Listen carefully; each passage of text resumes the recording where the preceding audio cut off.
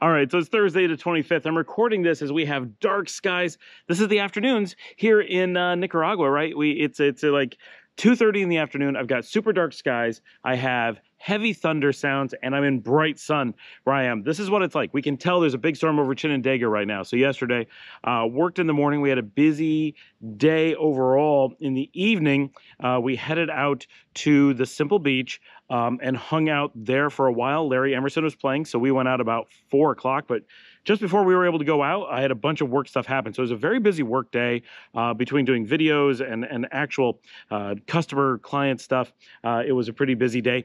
Um, but we went out in the afternoon because Larry was going to be playing at the Simple and we wanted to go see him.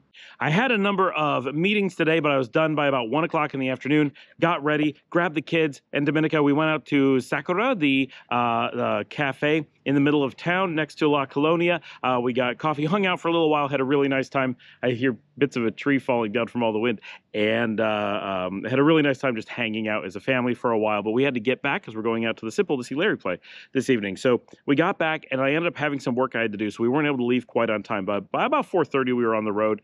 Got out to uh, Simple Beach and uh, hung out. Had a really nice concert. I was able to set up did a live stream from there, a little bit different than my normal live stream. There's so much falling out of the trees. This is crazy. Um, sometimes it's the it's the lizards dropping out sometimes it's coconuts falling sometimes it's the palm fronds falling all kinds of things hit the roofs from here uh, really good concert. We had dinner out there.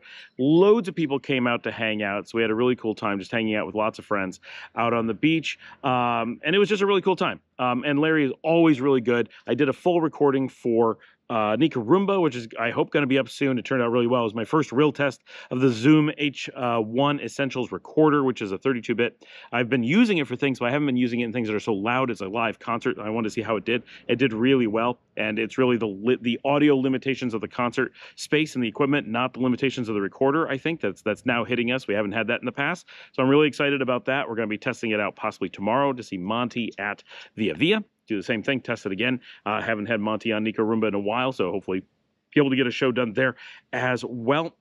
uh, so really good show. When it was done, uh, we left the simple, brought food home for the kids, ran people around, and then we had, headed out to a family uh, event. One of our good friends is having a birthday party, and so we're part of the family and went and had a big birthday party and very traditional Nicaraguan, traditional Nicaraguan house, traditional Nicaraguan. Everybody sitting around in the wicker rockers, traditional. Uh, the, the I don't know what they're called. The bands that play, they're kind of like mariachi bands, but it's not mariachi music.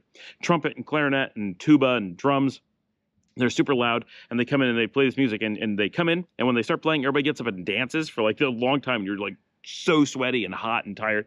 And then they leave for a little bit. And then we were doing karaoke and having some snacks and having some drinks. And then the band comes back and you dance. And this is all in a small house. And it's like super loud because you're in a tiny house with this really loud band and you dance again. And then they go back outside and then you relax for a little bit. Then they come back again. It's such it's such a different experience than you get anywhere else. It's it's pretty crazy. But that was our evening. We did that.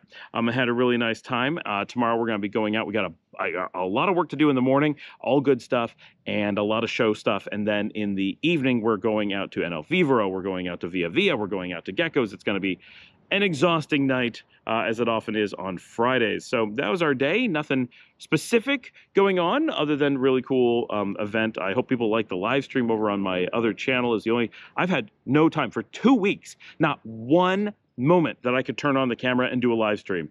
Like that's how busy I've been. Uh, it's been it's been pretty exhausting.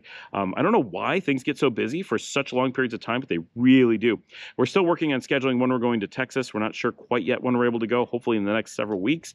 Uh, so it's like at least twelve times something has fallen out of a tree while I'm doing this short show. There's another one. Wow. All right. I'll see you guys tomorrow.